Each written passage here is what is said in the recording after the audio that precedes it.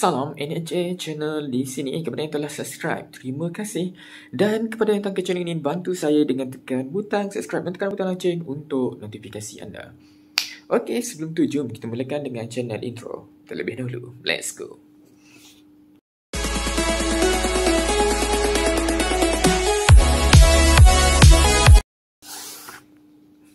Okey, selamat kembali ke NHA channel. Kepada yang belum uh, subscribe, bantu saya dengan tekan butang subscribe dan bantu saya untuk share.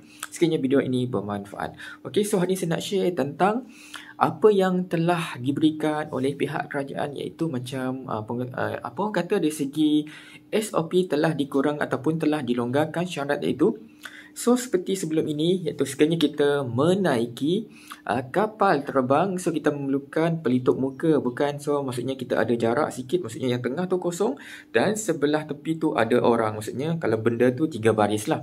Itu yang saya cerita tentang kalau flight tu ada tiga barisan. Maksudnya yang pertama dia letak tengah tu kosong dan tepi tu kosong.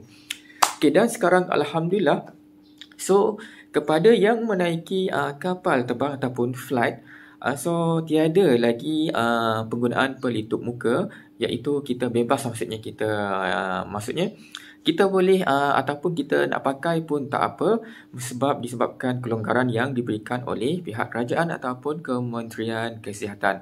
Okey disebabkan kurangnya uh, dari segi apa ataupun terkawal dari segi uh, COVID tersebut dan uh, kita pun dah mendapat imunisasi dari segi vaksin dan yang ketiga maksudnya uh, penyakit tu macam tak adalah uh, apa kata tak berjangkit sangatlah tak seperti yang sebelum ni. Okey, yang kedua pula saya nak ceritakan tentang Okey, so hari ini adalah hari Jumaat.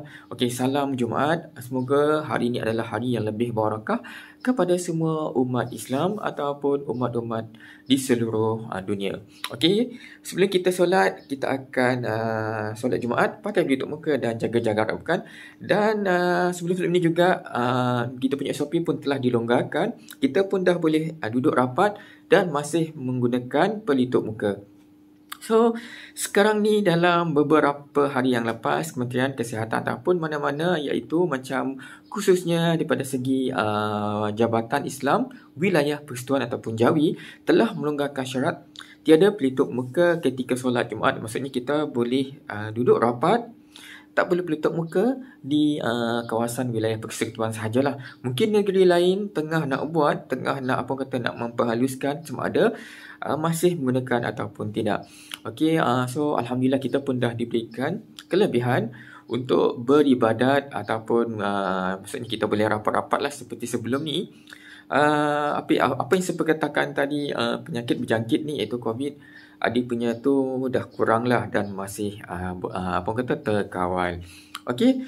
Okey yang saya nak ingatkan sahaja ialah uh, okey uh, pelitup muka ni adalah penting sama ada anda nak guna ataupun tidak itu adalah terpulang kepada anda. Yang kedua, penyakit berjangkit ni uh, dia masih uh, terkawal uh, so kita pun tak boleh nak mengabaikan uh, dia punya orang kata dia punya masalah ni so kita pakailah pelitup muka untuk menjaga diri kita. Okey yang ketiga sekiranya anda uh, apa orang kata golongan yang berisiko pakailah pelitup muka seperti uh, orang kata yang uh, orang-orang tua yang uh, apa kata yang melukan ataupun punya penyakit digalakkan untuk makan pelitup muka ibu-ibu mengandung uh, dan uh, golongan-golongan yang berisiko lah yang punya penyakit tertentu. Okey, sampai di sini saja untuk uh, video kali ini. Jangan lupa support NHA channel, subscribe NHA channel sehingga kita berjumpa lagi pada next video. Tang sudah tengokkan segala. Assalamualaikum.